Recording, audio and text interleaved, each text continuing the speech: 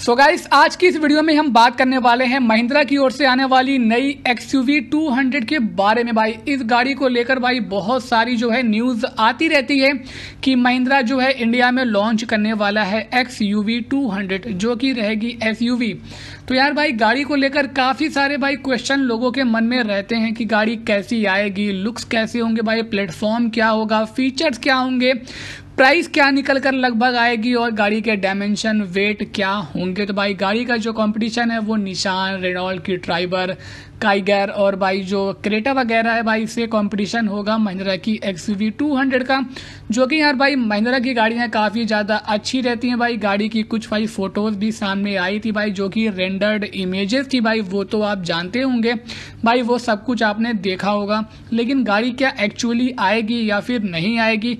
भाई, उसको लेकर भाई कोई दावा तो नहीं कर सकता, क्योंकि भाई अभी तक महिंद्रा की ओर से कोई भी ऑफिशियल अनाउंसमेंट नहीं है कि एक्स यू आएगी, लेकिन भाई गाड़ी को लेकर कुछ स्पेक्स सामने आए हुए हैं और भाई कुछ बातें आई हैं और भाई न्यूज़ तो काफ़ी सारी आई हैं। तो भाई कह सकते हैं कि हाँ अंदर से अपडेट होगी भाई, तभी ये गाड़ी इंडिया में आएगी और भाई ये गाड़ी जो है भाई पूरी बेस्ड होगी Mahindra X U V seven double O पर। और इसका भाई जो प्लेटफॉर्म होगा, वो होगा W six zero one platform भाई, जो कि सेवन डबल ओ का प्लेटफॉर्म है।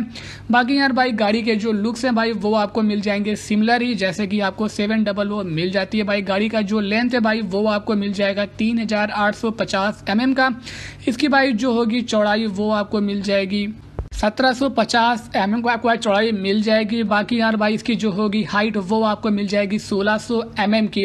और भाई, यही सारे स्पेक्स जो है सामने आए हैं तो भाई गाड़ी तो आएगी। और भाई, ये गाड़ी आपको काफ़ी ज़्यादा मिल जाएगी। ऊँची, इसका भाई जो है ग्राउंड भाई, इसका जो है ग्राउंड पे भाई, वो आपको मिल जाएगा 200 एम का। भाई, इसे आप खेत वगैरह में ईजिली चला पाओगे भाई। ग्राउंड क्लियरेंस आपको काफ़ी अच्छा मिल जा रहा है। बाकी यार भाई, इसका जो होगा हेडलाइट वो आपको महिंद्रा का भाई जो पैटर्न है, वैसा आपको मिल जाएगा। भाई, जो शेप आपको मिल जाता है सेवन डबल ओ में। भाई, वही आपको फ्रंट सेटअप मिल जाएगा Mahindra X V two hundred में, जो कि यार भाई आपको मिल जाएगा काफ़ी बेहतरीन और काफ़ी बड़ा सा एलईडी का डीआरएल भाई, आपको गाड़ी में एलईडी के लाइट मिल जाएँगे। और इसकी भाई जो होगी भाई ओ भाई, वो आपको मिल जाएगी फुली इलेक्ट्रॉनिकली भाई, उसमें आपको इंडिकेटेड आपको एलईडी के इंडिकेटर भी देखने को मिल जाएँगे। बाकी यार भाई, गाड़ी में आपको एलॉय व्हील तो देखने को मिलेगा भाई, जो कि टॉप वाले वेरिएंट में होगा। साथ ही भाई, गाड़ी में आपको भाई स्टील व्हील भी देखने को मिल जाएगा भाई, जो कि डेफिनेटली ये तो आपको हर एक गाड़ी में मिलता ही रहता है। इसके भाई, जो होंगे भाई अलॉय व्हील्स वो आपको मिल जाएँगे डायमंड कट में, जो कि आपको मैट ब्लैक और सिल्वर कलर के साथ देखने को मिल जाएँगे।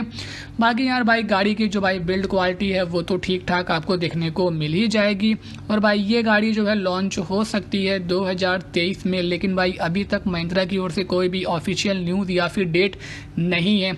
बाकी यार भाई, गाड़ी के जो लुक्स हैं भाई, वो आपको लगभग क्या भाई, लगभग आपको भाई मिल जाएँगे सेम ही सेवन डबल ओ से। लेकिन भाई शेप थोड़ा सा छोटा हो जाएगा। लेकिन यार भाई, महिंद्रा जो है ना, छोटी गाड़ियों को बना नहीं पाता। पता नहीं क्यों भाई, उससे छोटी गाड़ियाँ बनती भी नहीं है और भाई चलती भी नहीं है। बाकी यार भाई, गाड़ी का भाई जो होगा भाई टेल सेक्शन वो भी आपको काफ़ी ज़्यादा अट्रैक्टिव और आई कैची देखने को मिल जाएगा।